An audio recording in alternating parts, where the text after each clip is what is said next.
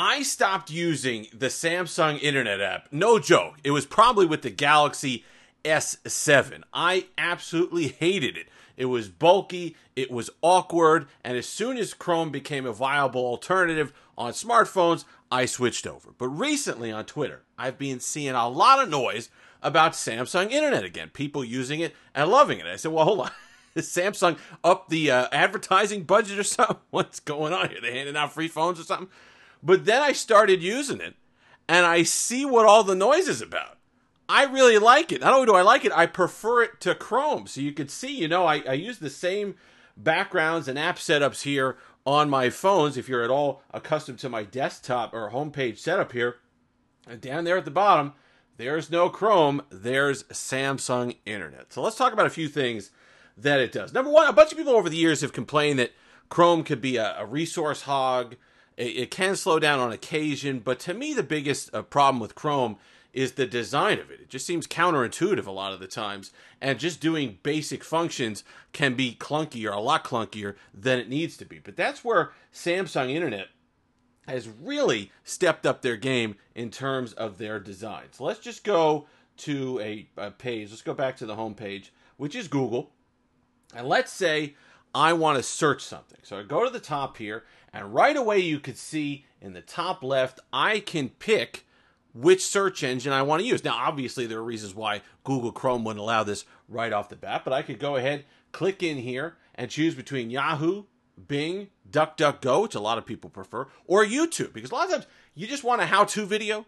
You want to see something, you're a visual learner, so you could go ahead and skip all the images, skip all the nonsense returns or results that Google will give you in their search sometime and get the video that you're looking for, which is really, really good. And a lot I mean, it's not as much of an issue anymore but early on with the search engines there were things that yahoo did better than google so to switch between them would have been useful but now it's not really that big of an issue but a lot of people prefer bing. That's something that you could do. And while google here is listed as a default it's literally a couple clicks go down to the bottom hit settings and then address bar and you can see what your default would be a lot uh, some of the other things i like are the tabs how they handle tabs so I've got this open here. Let's say I want to go to my tabs. This appeals to me. Just this nice little list where it's condensed, but it's nice. But if that's something that you don't like, a couple of clicks and you got something else. You go into the, the three dots in the corner, view as, and you could do stack or grid. And those are things that if that appeals to you, you could do that. But what I like is it's intuitive to change it. It's a couple clicks and you could customize it the way you want. I personally happen to like these, so that's really good. Let's go back to a page again. I just love the overall design of it as well. Bookmarks are one touch. You want to add a new bookmark? Right up in the top, you hit the star, boom, a bookmark's been added. Then you go right down here at the bottom, you click the other star, you got your list of your bookmarks. Right there. Two clicks. I've added a bookmark and I have access to my bookmarks. Really, really love how clean and smooth that is. Search suggestions. So let's say I start typing something in. Okay? Let's type in, oop, misspelled. But we'll just go ahead and type in ESPN. It'll go ahead and give me the search suggestions. Now, Google does that as well, or Chrome does that as well, but it's usually just a big, long mess of suggestions. I like how it's nice and condensed here with Samsung Internet. No issues with that whatsoever. Performance is another thing. You're not going to notice a, a, dip in performance between Chrome and Samsung Internet. Nice and snappy, pulls up. It's going to be just as fast as your internet connection will allow, and performance is great. Super smooth. It's integrated nicely with One UI 5.1, and it's going to run great, especially on your Samsung Galaxy S23 Ultra, especially with the extra power that it has. So let's talk about other settings that you may want to change.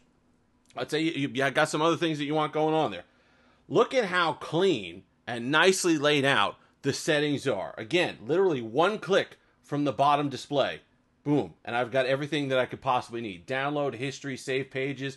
I want to add page to something I want to share. Light theme back and forth. I love that it defaults to the dark theme because it picks up that that's my system default as well. Find on page. If I want the desktop site, I don't have to scroll the bottom of the page and look for the option for the desktop site. I could just get it right here. Text, zoom, stuff like that. We're going to go over add ons in a moment. I could print it privacy if I want a private page. There's that settings that we just used earlier, and then translator. If it's a foreign page, you could go ahead and translate that into your home language. But I just love, love the design and layout of that. I could go right home, one click, go back to my, my Google Home here if I want to search something, go right back into tabs, nice, cleanly laid out. Several clicks that are intuitive get me around the entire system. And you add that to the performance that it has, and that's a winning combination. Chrome is, I don't know if it's overly engineered at this point, but it's just a mess. It's several clicks just to get to the menu that you then you have to search through to get something that you want to change and that you want to customize. Right here, it's all laid out on the home page for me. Right at the bottom. I got bookmarks up at the top. I got my stuff down at the bottom. I got home. If I want to look up a bookmark on my list, or if I want to go back to my tabs, it's all one click and all works really well. Now, there are some downsides. Everybody, and I'm included in this, is guilty of this as well. We've become very reliant, and because they're really good, on Chrome extensions. Do you have extensions here? Yes, but it's not going to be anywhere near as uh, comprehensive as the Google Chrome add-ons. So you see the add-ons here. You got ad blocker, subtitles, translator, stuff like that. You could go get more add-ons from the Samsung extensions, and you could add them. And listen, there's some here. They're growing. It's not. It's not anywhere near as complete as the selection on the Google Chrome app with your extensions. So that's something that you're going to have to deal with. There is a sync for your bookmarks, so you are able to sync now between your Google Chrome on your desktop and your Samsung Internet on your phone. That's pretty nice. You could add the Samsung Internet. It's kind of ironic. You could add the Samsung Internet Chrome extension on your desktop and be able to get all your bookmarks and stuff that you do on your mobile phones. That way, that's a nice clean transition there.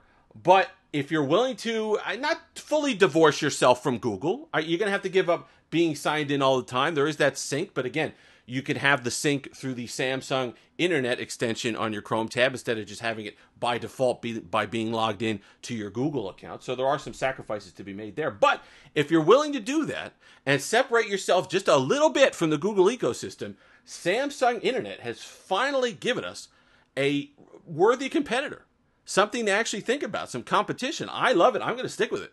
I I would the first thing for years that I would do would be to remove that icon from that dock and put in Chrome, but not anymore. I really love how nice, intuitive, and clean the design is now on Samsung Internet. So if you were like me, and rightfully so, you gave up on Samsung Internet years ago because it was garbage, maybe, maybe, maybe, maybe you should be giving it another look because I do believe I it it served its it served its debt to society. It's been in jail long enough. Perhaps it's time to let it out and see if it'll work for your needs. If you've made it this far, like, comment, subscribe, all that fun stuff. Until next time, have that Stevealicious day.